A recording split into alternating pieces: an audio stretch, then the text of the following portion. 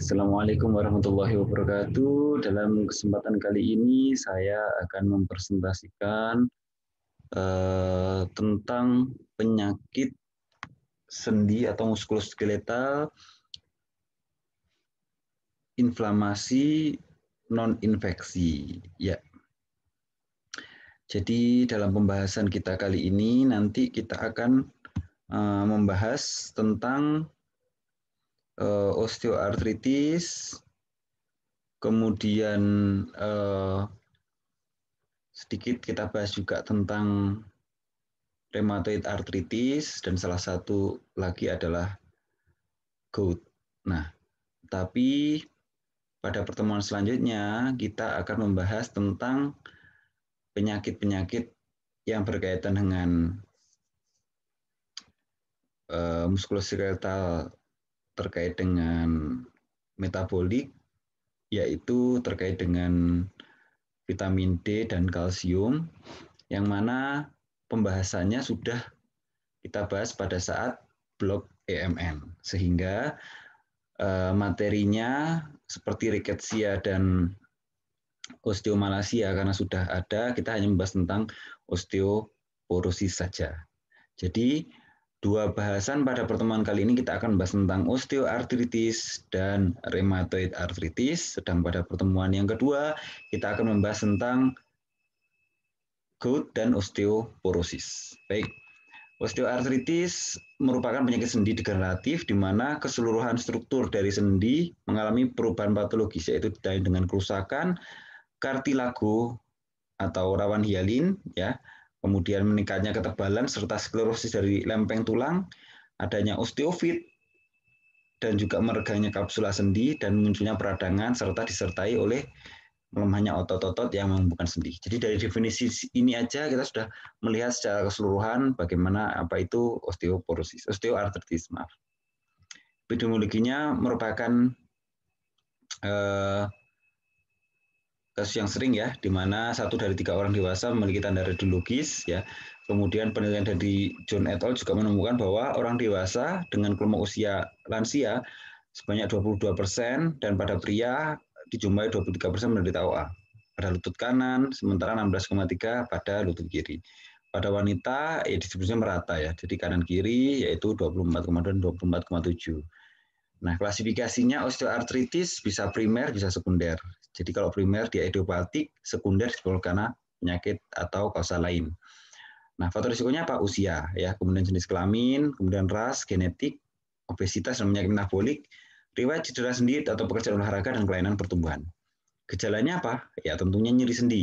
Ya, dengan ada nyeri sendi, eh, kalau dia terjadi gangguan pada struktur bisa menyebabkan terjadinya hambatan gerak sendi Nah, gejala yang khas lain adalah adanya kaku pada pagi hari. Jadi pada pagi hari eh, pasien dari eh, osteoartritis mengalami kekakuan sendi. Jadi bangun tidur, tangan dan kakinya terasa kaku. Adanya krepitasi, yaitu gerakan bunyi yang dimunculkan karena gerakan patologis daripada tulang keretek-ketek, nah itu krepitasi, kemudian pembesaran sendi atau terjadi deformitas, kemudian terjadi pembengkakan sendi yang asimetris ya, kemudian muncul tanda-tanda peradangan, apa itu yaitu eh, rubor, kolor, fungsi lisa, dolor, dan sebagainya. Kemudian kalau sudah terjadi hambatan gerak sendi, maka terjadi perubahan gaya berjalan atau gait. Ya. Ini adalah gambaran skematis bahwa pada tulang secara normal itu ada pada gambar sebelah kiri ini ya. Kemudian sesaat dia terjadi inflamasi maka akan terjadi peradangan, perubahan daripada struktur uh, kartilago, kemudian terjadi perubahan struktur daripada uh, uh, tulang tulang utama ya, maka akan terjadi kerusakan dan gesekan. Nah, dan gesekan menyebabkan terjadinya perubahan dan destruksi daripada kartilago yang akan menyebabkan terjadinya peradangan yang akan menyebabkan sendinya bertambah bengkak, cairan sinovialnya bertambah banyak, ya kemudian terjadi uh, deformitas serta gangguan fungsi berjalan. Nah kalau kita lihat apa yang membedakan antara uh, lutut kanan dan kiri. Kalau kita lihat lutut sebelah kanan ini nampak lebih besar ya. Kemudian dia nampak adanya pembengkakan ya, adanya cairan sendi yang menyebabkan penonjolan daripada ini. Kita lihat bedanya ya. Kemudian ada juga eh, apa perubahan daripada struktur serta eh, deformitas yang untuk seakan-akan eh, antara femur dan tibianya nampak tidak lurus. Nah, bagaimana patofisiologinya? Adanya faktor risiko umur, jenis kelamin, suku, genetik, dan kegemukan yang akan menyebabkan terjadinya kerusakan vokal tulang rawan sendi yang bersifat progresif. Dan pada saat ini terjadi kerusakan itu akan menyebabkan terjadi pembentukan tulang baru pada sendi yang dimunculkan pada tepi sendi. Adanya perubahan ini akan menyebabkan terjadinya metabolisme tulang yang berubah dan akan menyebabkan terjadi peningkatan aktivitas enzim yang merusak baik makro atau mikromolekul di matriks tulang rawan sendi sehingga akan terjadi penurunan kadar proteoglikan dan berkurangnya kadar air tulang dan rawan sendi. Hal ini menyebabkan terjadinya sendi mudah rusak, mudah pecah, dan terjadi robekan atau sir. Nah, kemudian terjadi laserasi, maka akan menyebabkan terjadinya osteoartritis. Apa pemeriksaan penunjang yang dibutuhkan? Ya, pemeriksaan laboratorium adanya peningkatan sel radang, ya, peningkatan sel radang kurang daripada 8.000 per mili ya. Jadi peningkatan eh, sel radang ini hanya ringan ya, berbeda dengan RA yang kita bahas selanjutnya. Dari unsur radiologi dapatkan adanya gambaran radiologi yaitu penyempatan celah sendi yang asimetris ya, kemudian terjadi peningkatan densitas tulang subkondral atau sklerosis, adanya kista pada tulang atau osteofit pada pinggir sendi serta struktur anatomi yang berubah. OA, bagaimana penanganannya? Yang pasti adalah mengontrol nyeri ya, kemudian dia memperbaiki fungsi sendi, kemudian mempertahankan berat badan normal dan mencapai gaya hidup yang sehat. Nah, penanganan nyerinya apa yang diberikan ya? Ya anti nyeri ya. Kalau misalkan dia nyeri bisa diberikan dengan OAINS ya atau NSAID atau acetaminophen ya yang berfungsi untuk menghambat eh, rangsangan impuls nyeri ya. Kemudian kontrol protective agent juga bisa diberikan di mana obat-obatnya adalah contohnya eh, hyaluronic acid, kondroitin sulfat, glukosaminoglikan, vitamin C dan sebagainya ya. Ada juga kalau misalkan dia non farmakolis apa ya berikan edukasi agar mengurangi berat badan, mengurangi bagaimana cara mengurangi nyeri ya, kemudian terapi fisik dan rehabilitasi dan tentunya memperberat menurunkan berat badan. Bagaimana mencegah OA? Satu, menjaga berat badan tetap ideal. Dua, latihan teratur dan berpartisipasi dalam aktivitas fisik yang reguler, kemudian lindungi sendi dari benturan ya. Kemudian yang keempat, hindari stres berulang pada sendi. Jadi hindari benturan pada sendi, jatuh kemudian kerusakan sendi ya. Asupan yang cukup yaitu vitamin C, D, E, antioksidan dan omega 3 asam lemak yang memiliki sifat protektif terhadap osteoartritis. Kemudian memperkuat otot dan sendi melalui latihan dan menghindari cedera sendi pada saat olahraga. Ya, itu adalah sedikit pembahasan tentang osteoartritis kita akan lanjut ke pembahasan eh, kita akan lanjut ke pembahasan kita yang selanjutnya tentang eh, rheumatoid arthritis.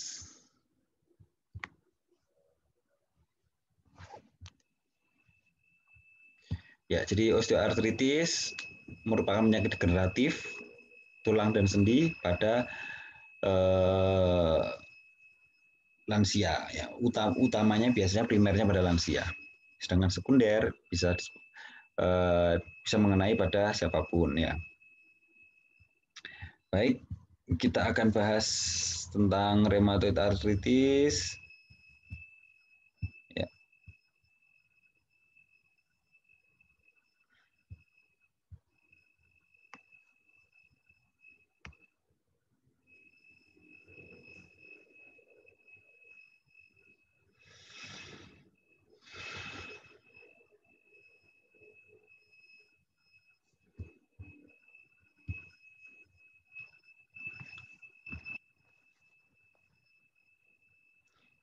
Rheumatoid arthritis.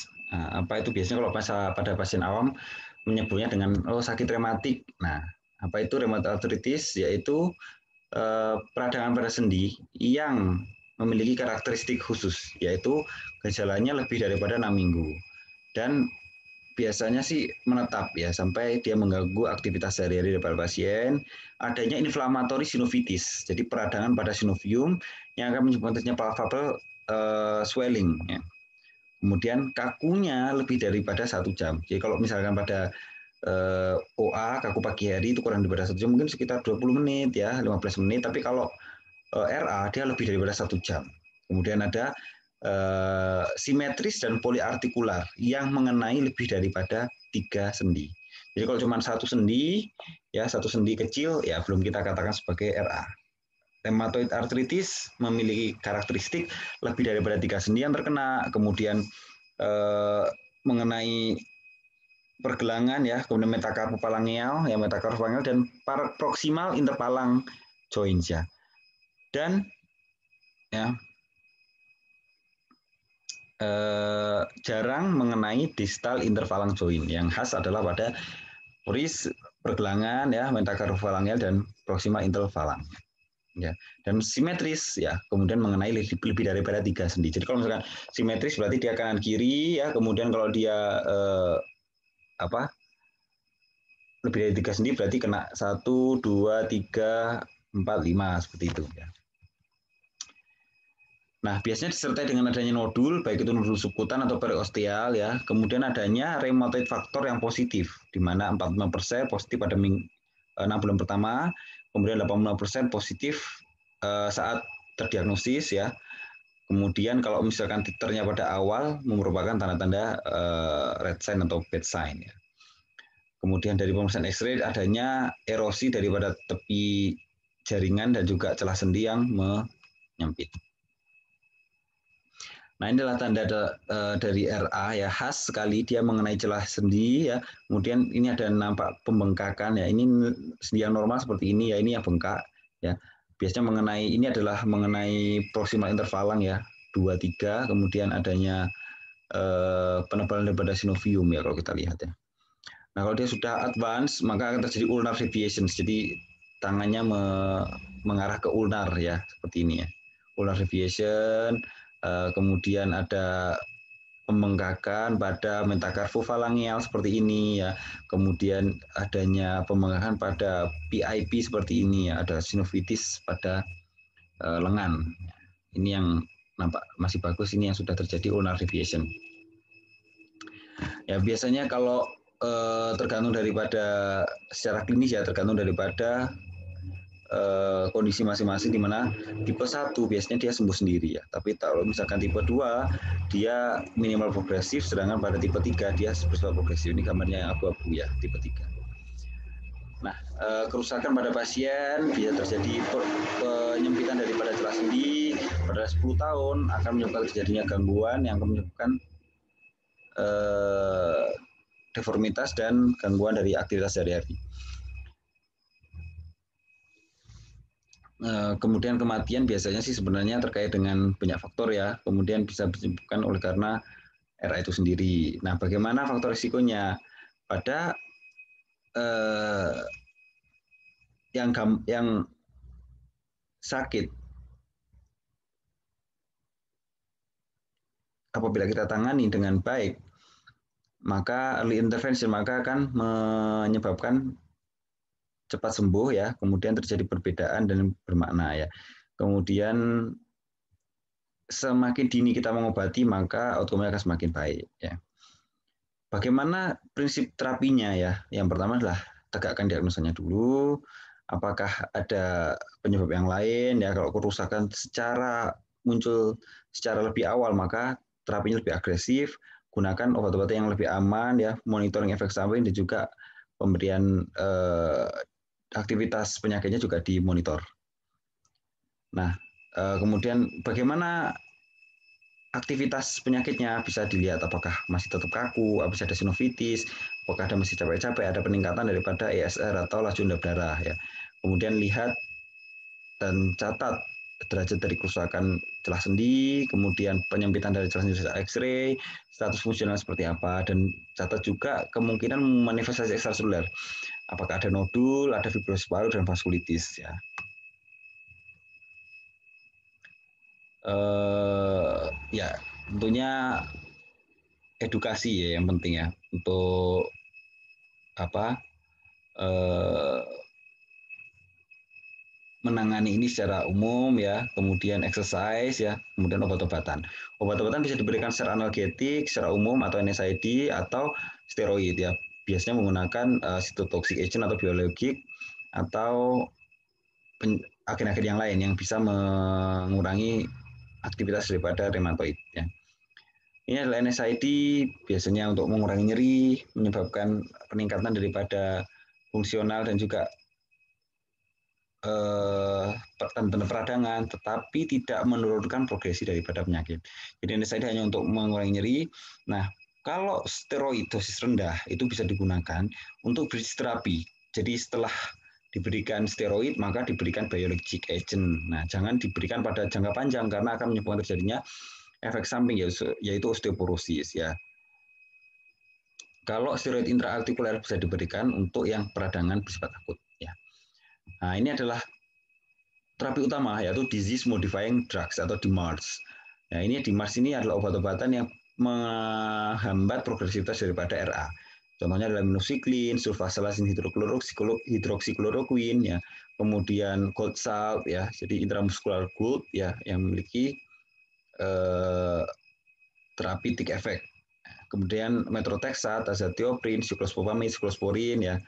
Nah ini kalau misalkan diberikan terapi maka triple terapi responnya akan lebih baik ya. Kalau misalkan eh, observasinya maka eh, kombinasi itu lebih baik ya. Kalau misalkan dikombinasi maka pemberian steroid maka harus di tapering off ya. Contoh yang adalah leflunomide ya, kemudian etanercept adalah eh, TNF alpha inhibitor. Ini juga bisa digunakan sebagai terapi RA. Kemudian harus dimonitor karena dia memiliki efek samping di jantung, pembuluh darah, di ginjal dan di paru-paru ya. Ini adalah eh, efek-efek samping yang dimunculkan daripada obat-obatan DMARS. Ya. ya, itu tadi kuliah tentang rheumatoid arthritis dan osteoartritis ya. Untuk selanjutnya kita bahas di kuliah yang lain yaitu tentang gout dan osteoporosis. Saya kira cukup sekian. Terima kasih atas segala perhatiannya. Mohon maaf bila ada kurang lebihnya. Saya akhiri. Wassalamualaikum warahmatullahi wabarakatuh.